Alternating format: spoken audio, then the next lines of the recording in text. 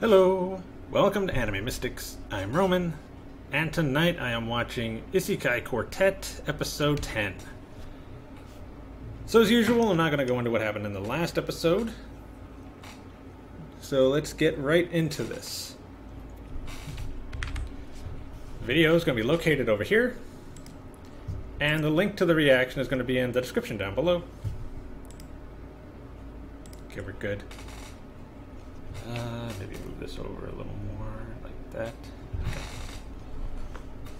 Yeah, move over. Okay. So we're going to start this episode in three, two, one.